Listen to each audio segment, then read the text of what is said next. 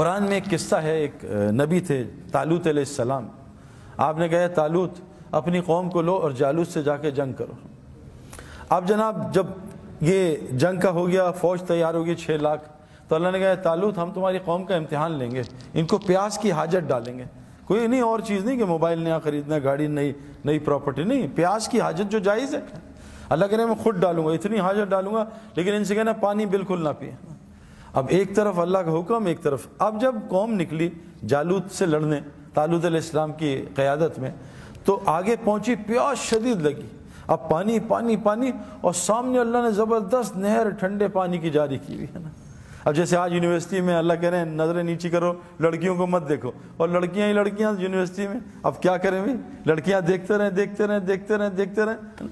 اور لڑکیاں بھی لڑکے لڑکے۔ دیکھو، ایک قرآن کی آیت کافی ہوتی ہے ہمارے لیے۔ اللہ کا ایک حکم، ہمارے ایک جنرل صاحب ہیں، وہ ایک دوسرے جنرل کے پاس گئے، سرونگ کے پاس۔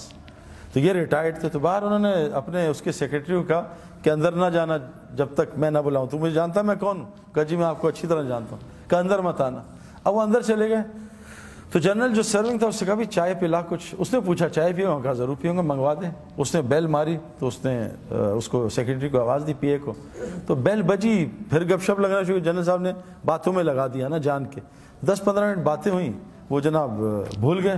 تو جنرل صاحب نے کہا چار نہیں آئی، کی ہوا ان کو زور سے ذرا منہ سے غلط لفظ استعمال کیا۔ لمبی بیل دی کہ نہیں آیا، میں ابھی دیکھتا ہوں۔ پھر بیل دی، پھر وہ بھول گئے پندرہ منٹ۔ اب جنرل صاحب نے کہا، یار، یہ تو ان کا نوکر ہے یا یہ تیرا نوکر ہے؟ تو نے دو بیلیں دی یہ آ نہیں رہا۔ کہا، میں اس کی ایسی کی تیسی کر دوں گا۔ اب جانے لگے تو جنرل صاحب نے بیٹھا میں نے اس کو منع کیا تھا۔ کہا، کیوں؟ کہا، تجھے یہ احساس دلانا تھا، یہ ایک مخلوق ہے، تو اس کا مالک نہیں۔ اس کو آرمی پیسے دیتی، تو نہیں دیتا۔ یہ تھوڑی دیر کے لیے تیرا خادم ہے۔ تیری دو بیلوں پہ یہ نہیں آیا، تجھے کتنی تپ ہے؟ تیرا رب روزانہ تجھے پانچ بیلے دیتا ہے، تو کتنے سالوں سے نہیں گیا؟ پتا تیرے رب کا کیا ہوگا۔ میرے پیارے دوست بزرگوں، مسئلہ یہ ہے، اللہ نے قرآن میں ایک آیت ہے، سمپل۔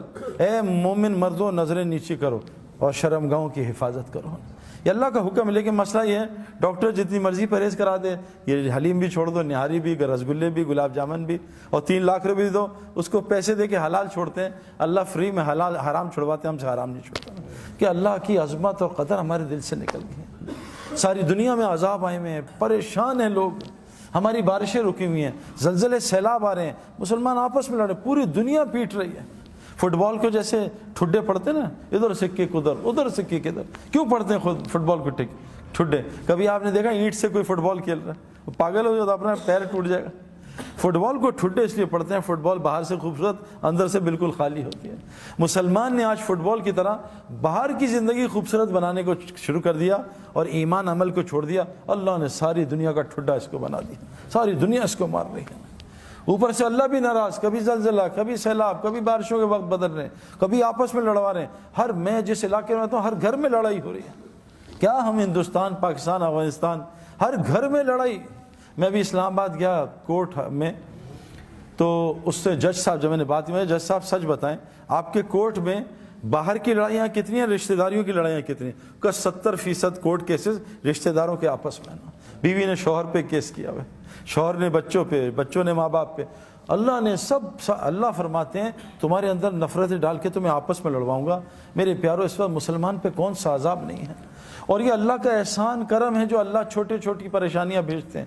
کیونکہ اللہ فرماتے ہیں کہ میں دنیا میں چھوٹے چھوٹے چھوٹے عذاب، چھوٹی پریشانیاں، مصیبتیں تمہیں اس لیے بھیجتا ہوں تاکہ تم مرنے کے بعد کے بڑے عذاب سے بچ جاؤ۔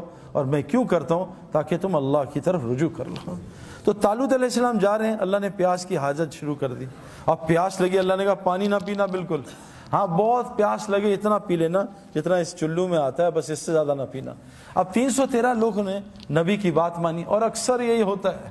ماننے والے تھوڑے ہوتے ہیں، نافرمان زیادہ ہوتے ہیں۔ اکثر یہ ہوتا ہے نو علیہ السلام کی ہزاروں کی تعداد، کتنے اسی لوگوں نے کلمہ پڑھا۔ ہے یہ اکثر ہوتا ہے۔ تو انہوں نے کیا کیا کہ ان کے ساتھ تین سو تیرہ الگ ہو گئے۔ نبی کی بات مانی، بعضوں نے پیا نہیں، بعضوں نے تھوڑا پیا۔ اللہ ان کی پیاس کو بھی بجھا دیا اور ان کو جالوت سے فتح بھی دلا دی۔ اور باقی جتنے تھے لاکھوں میں، ان سبوں نے پانی پینا شروع کیا۔ وہ پانی پیتے گئے، پیاس بڑھتی گئی۔ پانی پیتے گئے، پیاس بڑھتی گئی۔ پانی پیتے گئے، پیاس بڑھتی گئی۔ نہ ان کی پیاس بجھی اور وہ دنیا میں بھی برباد ہو گئے، آخرت میں برباد ہو گئے۔ میں نے یہ پچیس سال کی زندگی گزاری ہے۔ میں نے ہر پیاس کو بجھانے کی کوشش کی ہے، لیکن یہ ظالم دنیا پیاس بجھانے کی جگہ نہیں ہے میرے پیاروں۔ میں نے ہر لائن کی پیاس گاڑیوں کی مکانوں کی جو لائن ہے جو لوگ بتا رہے ہیں، یا کامیابی یا کامیابی۔ اور میں تو ایک چھوٹا سا آدمی تھا۔ میں نے آس پاس دنیا کے بڑے بڑے لوگ دیکھے۔ میں نے ایک آدمی کو بھی کامیاب ہوتے۔ کیوں؟ کہ جیسے چائے بنانے والے نے چینی نہیں ڈالی، ہم جتنا مرضی وہ گھولتے رہے چاروں طرف، وہ نہیں میٹھی ہوگی۔ اللہ نے اس کائنات میں کوئی چیز ایسی نہیں ہے جس میں ہمارے حالات کا تعلق رکھا ہے کہ اس سے حالات ٹھیک ہوں گے، گھر بنا لو، حالات ٹھیک ہوں گے۔